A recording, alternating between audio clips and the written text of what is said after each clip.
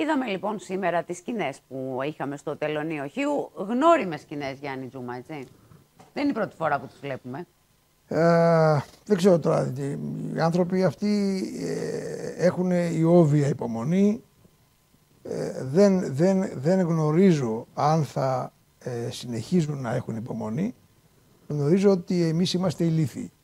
Να είμαστε ξεκάθαροι, να τα λέμε ξεκάθαρα και να παίρνουμε και τις επιπτώσεις των πράξεών μας. Τις Έτσι, τις συνέπειες. Αυτή τη στιγμή, αυτή τη στιγμή είχαμε τον κόσμο να περιμένει από το πρωί μέχρι αργά το μεσημέρι. Τρεις η ώρα φεύγανε οι τελευταίοι. Μονοήμερη εκδρομή συνεπώς λοιπόν, απαγορεύεται.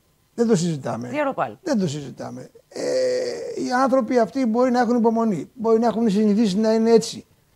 Εάν είμαστε εμείς στη θέση τους θα ξαναπηγαίναμε στην Τουρκία. Θέτω αυτό το ερώτημα στον καθένα μας. Να απαντήσουμε. Εγώ για παράδειγμα θα πήγαινα μία φορά και δεν θα ξαναπάταγα στη ζωή μου. Και εμείς όπου πάμε και ταλαιπωρηθούμε σαν επισκέπτες, δεν θέλουμε να ξαναπάμε. Λοιπόν, έτσι. οι Τούρκοι δεν ξέρω πώς ακριβώς αντιμετωπίζουν τη δική μας την περίπτωση. Ξέρω όμως ότι εμείς είμαστε ηλίθιοι. Δεν είναι δυνατόν να μην διαμαρτύρεται κανένας.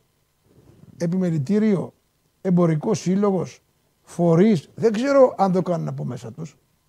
Δεν το ξέρω. Από μέσα τους Έχουμε και, δεν το ξέρω. Έχουμε και εκλογές τώρα. Έχουμε μεθαύριο, έχουμε εκλογές.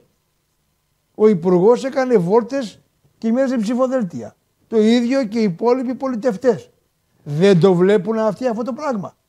Συγγνώμη, αλλά είμαστε ηλίθιοι. Διότι δεν είναι δυνατόν να έχεις 1500 άτομα τα οποία μπορείς να τα έχεις σε μία ώρα μέσα στην αγορά σου να ψωνίζουν και, και εσύ τα κρατάς μία μέρα.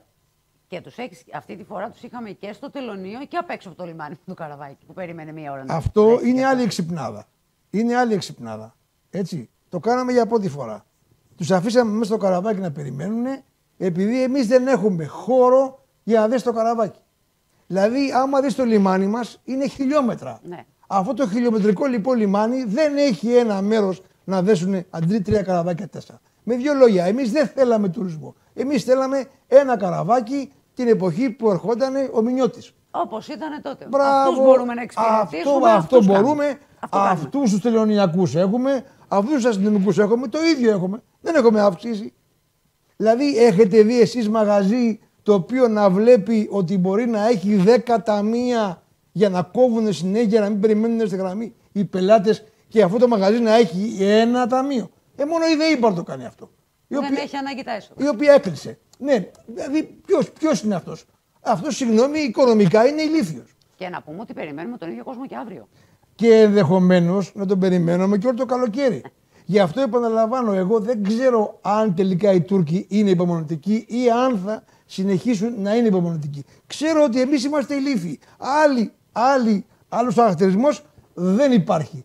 Και ας είμαι αυστηρός και ας είμαι εγώ κατηγορηματικός και ας είμαι εγώ ο κακός της υπόθεσης. Αν το καλοκαίρι κυλήσει έτσι, παιδιά, θα είμαστε άξιοι της μοίρας μας για τον επόμενο προσμό των Τούρκων που θα είναι ένα άλλο νησί, που θα τους κυβερνήσει καλύτερα και που θα του φερθεί ανθρώπινα και με αξιοπρέπεια. Είναι αυτό αξιοπρεπής αντιμετώπιση μιας χώρας απέναντι στον ξένο επισκέπτη, της οποίο έρχεται και περιμένει μία ολόκληρη μέρα μέσα στον ήλιο ή μέσα στο καραβάκι εγκλωβισμένος στο λιμάνι απ' έξω, επειδή εμείς έχουμε τρεις ε, αστυνομικούς να εξυπηρετήσουμε την ώρα που θέλουμε 30.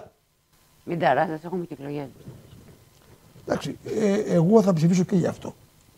Ναι, έτσι, ο καθένας αυτό... έχει πολλά κριτήρια. Ναι, ναι, πρέπει να κάνει. Έτσι. Ο κάθε πολίτη. Πρέπει να πάρει υπόψη του για αυτό το πράγμα. Δεν είναι δυνατόν. Ξαναλέω ξανά. Έχουμε φορείς. Πού είναι; Πού Τώρα είναι; είναι απασχολημένοι όλοι. Εντάξει. Ευχαριστούμε πολύ Γιάννη να περάσουμε στις υπόλοιπες ειδήσεις του δελτίου μας.